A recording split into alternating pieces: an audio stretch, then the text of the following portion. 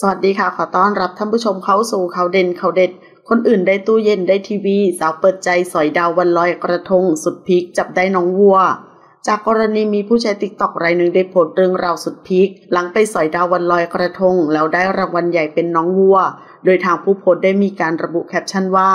สอยดาววันลอยกระทงได้อะไร คนอื่นได้ตู้เย็นได้ทีวี ฉันได้วัวจ้ะและฉันต้องทำยังไงกับน้อง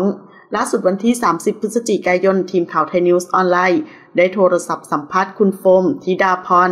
ผู้โพสต์คลิปถึงเรื่องราวดังกล่าว โดยระบุว่า วันนั้นไปสอยดาวงานลอยกระทงห้วยสะพานจังหวัดกาญจนบุรี มันเป็นการตักไข่ หลังจากตักได้ก็แกะดูรางวัลที่อยู่ด้านใน ปรากฏว่าเป็นวัว ซึ่งเป็นรางวัลใหญ่ที่ทางนายกอบตหนองโรงเอามาให้เป็นรางวัล เพราะว่าคนแถวนั้นเขาเลี้ยงวัวกัน ก็เลยเอาวัวมาเป็นรางวัลให้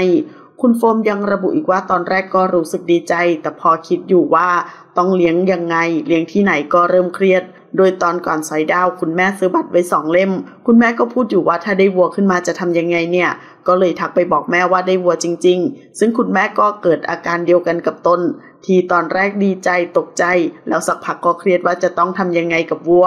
ส่วนตอนนี้ฝากน้องวัวอยู่ที่ใกล้ๆบ้านคุณป้าที่ห้วยสะพาน เพราะคนแถวนั้นเขามีที่ แล้วคนแถวนั้นก็เอ็นดูน้องวัวไปหาหญ้าให้กิน จุดไฟไล่ยุงมีที่ร่มให้น้องเรียบร้อย แต่ว่าหลังจากนี้ตกลงกันแล้วว่าจะส่งน้องวัวไปอยู่ที่ค่ายทหาร เพราะว่าตอนนั้นมีคนที่เขาไถ่ชีวิตวัวมา แล้วบังคับว่าเลี้ยงไว้ ห้ามขาย ห้ามฆ่า ถ้าน้องไปอยู่ที่นั่นก็จะมีคนคอยดูแล มีพื้นที่มีเพื่อนที่เป็นวัวด้วยกัน เราไม่ต้องมานั่งกังวลว่าน้องจะโดนเชือด หรือโดนขายวันไหน ซึ่งคิดว่าดีกับน้องวัวที่สุดแล้ว ขอขอบคุณข้อมูลจากทีนิวส์ขอบคุณค่ะ